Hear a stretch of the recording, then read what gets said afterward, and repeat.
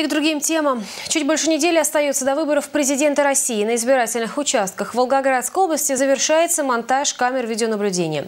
Из 1649 участков подобными системами осталось оснастить менее 200. В Волжском, как нам рассказали сегодня в территориальном избиркоме, эта работа уже окончена. Однако только веб-камерами обеспечение прозрачности процесса голосования не исчерпывается. Развитие темы в материале Людмилы Кухаревой. Веб-камеры уже смонтированы на 100 избирательных участках Волжского, там, где они и должны быть установлены. Исключение составляют участки в больницах и исправительных учреждениях. Большинство программно-аппаратных комплексов уже налажены и готовы принять участие во всероссийском тестировании, которое намечено на 26 февраля.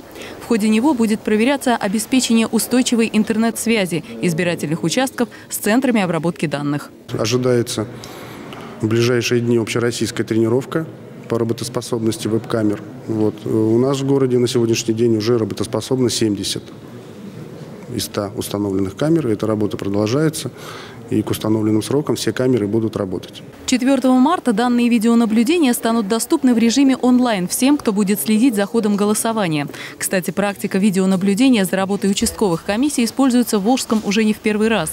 На декабрьских выборах в Госдуму в городе работало 10 веб-камер, а вот прозрачные урны для голосования, также призванные обеспечивать открытость и честность выборов, это уже ноу-хау нынешней избирательной кампании. В Волжском они тоже появятся на каждом избирательном участке и заменит своих деревянных предшественников. Избиратели и члены комиссии могут видеть, что действительно э, стационарный ящик, он перед началом голосования пустой, что опускает избиратель один бюллетень.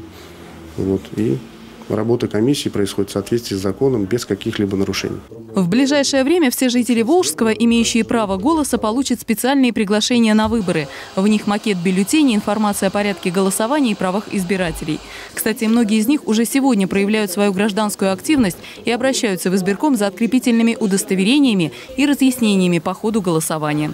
Как прогнозируют в территориальном избиркоме, 4 марта на участке должны прийти больше половины волжских избирателей.